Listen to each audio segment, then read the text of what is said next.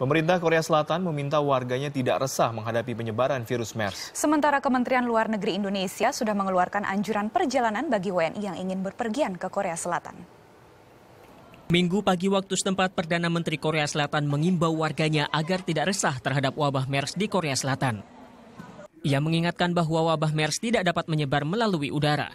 국민들께서도 정부를 믿고 확인되지 않은 정보에 의존하여 행동하는 일이 없기를 당부를 드리며 또한 손 씻기, 기침 예절 등 개인 위생 수칙을 철저히 지킴으로써 메르스의 확산 방지에 협조해 주시기 바랍니다.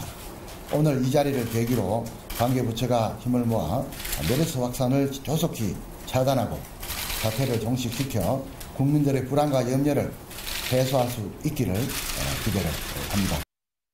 Sementara Jumat kemarin pemerintah Indonesia melalui Kementerian Luar Negeri mengeluarkan anjuran perjalanan bagi WNI yang ingin bepergian ke Korea Selatan.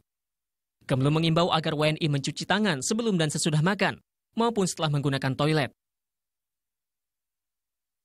Selain itu, pemerintah juga mengimbau agar tidak mengkonsumsi makanan yang belum diproses. Kementerian Luar Negeri juga membuka bantuan bagi WNI yang membutuhkan melalui kedutaan besar yang ada di Korea Selatan.